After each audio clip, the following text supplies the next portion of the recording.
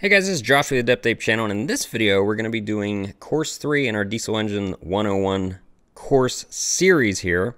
Okay, so in our last video, we talked about the valve train and basically how air gets in and out of the cylinders, and that's a very complicated system. In this video, we're going to be focusing on one single component, and this single component is, I would consider it the most critical component in the engine, and that's because this is the only component that is absorbing all of the energy and sending it out of the engine.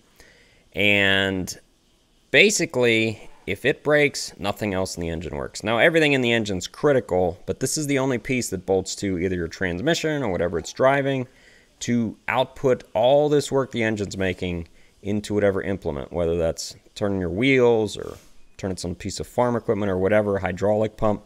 This is what does it. And if you don't know what I'm talking about, we're going to be talking about the crankshaft today.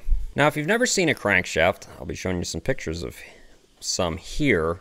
They're very weird looking metal components. And basically, the reason they have the name crankshaft is because if you've ever seen any sort of crank, anything you have to hand turn, there's a pivot point and then there's some sort of leveraged area away from that pivot point where you rotate something.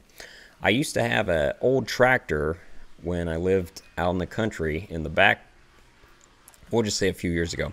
And uh, it had a crank start on it. Now, it had an electric start, but it also had a crank start. And that was just, that blew my mind. It's also very dangerous, but uh, they didn't really care about safety as much back in the uh, 1940s and 50s on tractors back then. But I never got hurt operating it. Anyway, so the reason it's named a crankshaft is because the connecting rod, which we've discussed before, which connects the piston to the crankshaft is connected. The connecting rod is connected to the crankshaft and the piston on the crank throw. Now you need to understand how basically a crankshaft works. So I'm going to go over this little short crappy animation that I just made. So here's the amazing animation that I made. I know I should be working at Pixar here. And the blue is the piston, the gray is the connecting rod, and the black is the crankshaft.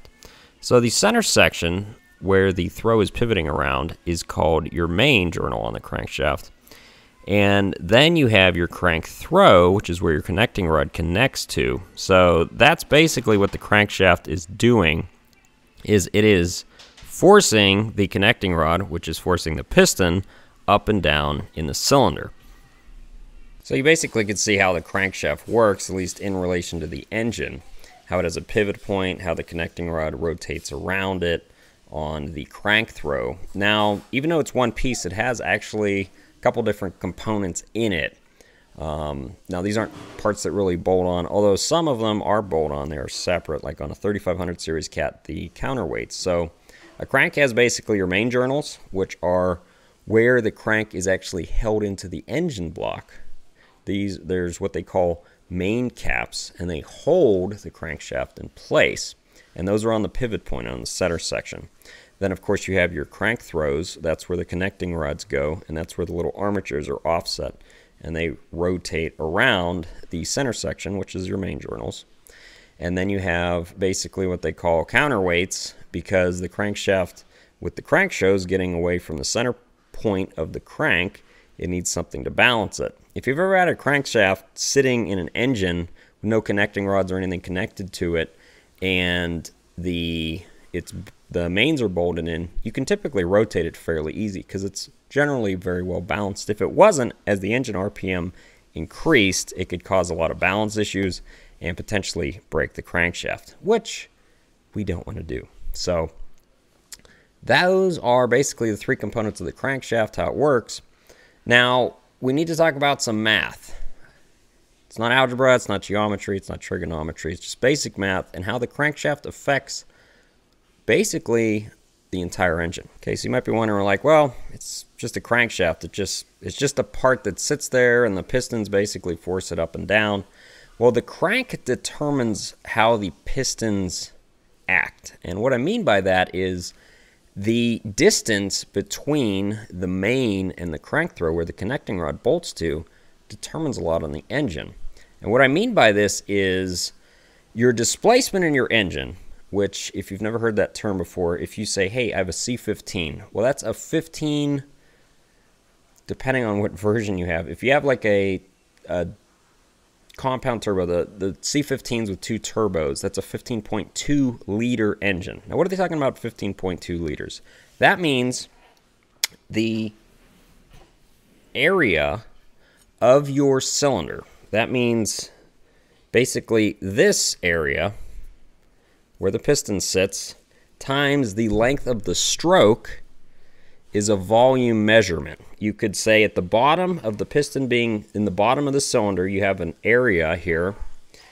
And if you multiply that, that volume times the amount of cylinders gives you the displacement of the engine. So if you had a six liter engine and it was a six cylinder engine, that would mean each cylinder with the piston at the bottom of its stroke was one liter. Six times one, six liters.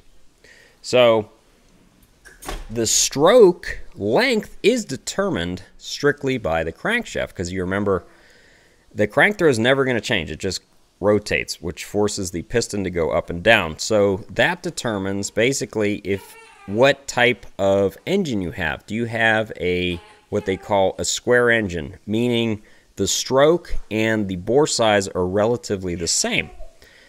You can have something called a stroker engine, which some diesels, I'd say most diesels are, where you have a longer stroke than you do a bore. This also determines the RPM range because if you have a very short stroke but a very big bore, in order to make a lot of power, you'd have to rev the engine up very high because you're only moving the piston down a very small amount. However, if the piston's moving a large amount, you'd typically be a much slower turning over engine, so you'd run at a lower RPM. All that's determined and engineered by the crankshaft itself. Okay, so we know basically how the crankshaft works, how it the function of it, uh, the, the arithmetic that goes into how the crankshaft affects the engine. What we need to know, though, is if you think about it, this is rotating all the time. I'm going to tell you something, though, and when you first hear it, you're, you're going to say that's not true. So this heavy component, it can weigh a couple hundred pounds, is in the engine. It's rotating all the time. It's not actually touching the other parts of the engine though. It's not touching the engine block. It's not touching the connecting rods. The only thing it's really bolted to would be there's a a harmonic damper in the front of the engine to help absorb vibrations. This can either be a rubber coated um, or some sort of viscous uh, internal dampening uh, device, and it's called a. I used to always call it a dampener, and almost everyone calls it that. But if you ever look it up, it's actually called a damper, damper, not dampener.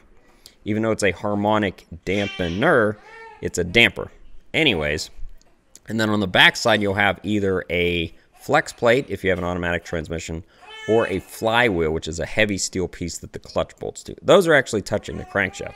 Now, getting back to what I said, the crankshaft's not actually touching anything. You might be like, well, that, what do you mean it's not touching it? it? You just told me it was bolted into the engine with the mains. Well, that's the mains are holding it there, but they're not touching it. And what I mean by that is engines use what they call a journal bearing system. This is a this is actually an upper main bearing out of a cat diesel engine. And this is actually a connecting rod bearing. And these are sets. So you'd have two of these that would go around your crank journal. That'd be your connecting rod journal. And this would be your main journal. And what those actually do is they have oil that's pumped into them by the oil pump. Now, I'm not going to go into the elaborate system of the oil system. We're going to be talking about that in the next class. But there's a light film a couple thousandths of oil between the crankshaft and all these bearing journals at all times. So really the crankshaft is not actually touching any part of the engine. It's actually floating on a very thin pillow of oil at all times. And that keeps it able to rotate with almost zero friction. So you may have noticed that some of the, or well, all these classes have been like 20, 25 minutes long. I'm to cut my videos and try to keep them less than 10 minutes. Average view, view duration on my channel is four to five minutes. Now, of course, that's probably a lot of people watching a couple minutes and then clicking off, and then a lot of people watching the whole thing. so it averages out. But it's hard to keep someone's attention for that long. So instead of covering, like in the last video, I did the valves, the valve train, the camshaft, all these different items. I'm like in this one, I'm just going to focus on the crankshaft. Next one, I'm going to try and focus on the oil system and how it operates. Make them shorter, hopefully keep your guys' interest, and hopefully help me make more videos. All right, thanks for watching.